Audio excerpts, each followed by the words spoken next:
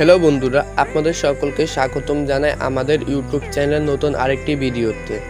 আজকের এই ভিডিওতে আমরা জানব রাবণ এবং কিসমিস মুভি একত্রিশতম দিনের বক্স অফিস কালেকশন আজকে রবিবার, আজকে ছুটির দিন। আজকে এ দুটি মুভি বক্স অফিস থেকে অনেক ভালো কালেকশন করবে। পঞ্চম সপ্তাহে এসো, এ দুটি মুভি দর্শকদের কাছ থেকে ভালো রেসপন্স পাচ্ছেন। জানব একত্রিশতম দিনে কোন মুভিটি বক্স অফিসে এগিয়ে গেল, রাবণ নাকি কিসমিস? তাহলে এই ভিডিওটি শুরু করা যাক।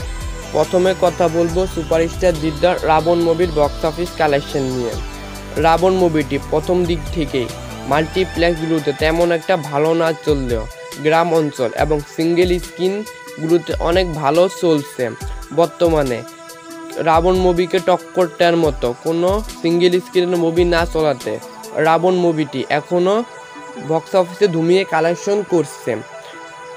জিদ্দা লাস্ট কয়েক বছরে বষ্টু মুভির পরে রাবণ মুভিটি সব থেকে বেশি ইনকাম করা মুভি রাবণ মুভিটির বাজেট হলো চার কোটি টাকা এবং রাবণ মুভিটি আজকে কালেকশন করতে পারে দুই থেকে পাঁচ লক্ষ টাকার মতো এবং রাবণ মুভিটি এখন পর্যন্ত টোটাল বক্স অফিস কালেকশন করেছে ছয় কোটি ষোলো লক্ষ টাকার মতন এখন জানব সুপারস্টার দেবদার কিসমিস মুভির একত্রিশতম দিনের বক্স অফিস কালেকশন কিসমিস মুভিটিকে মূলত ফ্যামিলি অডিয়েন্সদেরকে টার্গেট করে বানানো হয়েছিল এবং প্রথম দিকে ফ্যামিলি অডিয়েন্সরা কিসমিস মুভিটিকে অনেক সাপোর্ট করেছিল।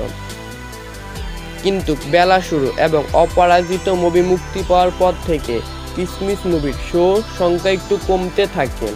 ফ্যামিলি অডিয়েন্সদের পছন্দ পছন্দ হলো বেলা শুরু এবং অপরাজিত। এই দুটি মুভির কারণে কিসমিস মুভিটির কালেকশন একটু কমে গিয়েছে। কিসমিস মুভিটির বাজেট হলো দুই কোটি টাকা এবং কিসমিস মুভিটি আজকে কালেকশন করতে পারে এক থেকে তিন লক্ষ টাকার মতো। এবং কিসমিস মুভিটি এখন পর্যন্ত টোটাল কালেকশন করেছে পাঁচ কোটি ছিয়াশি লক্ষ টাকার মতো।